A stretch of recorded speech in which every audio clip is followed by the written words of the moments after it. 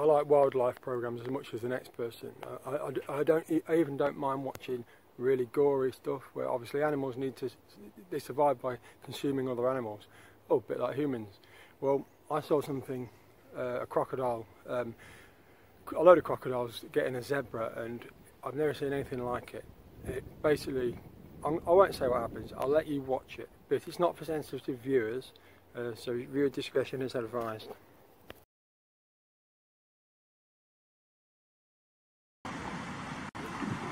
Hope so. Put it out of its misery. Oh my god, it's head in. Oh. Oh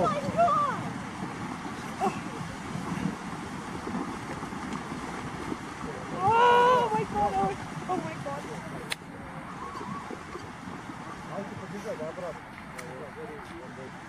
Holy crap! Oh, Ah! Oh, God. Oh my god, ay, ay, ay. oh, done.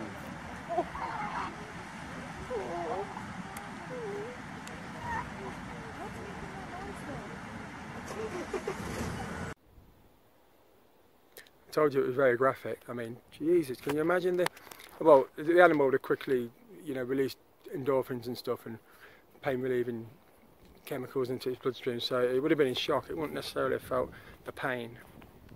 But if that had happened to me, oh my god, I could only imagine it. Horrible.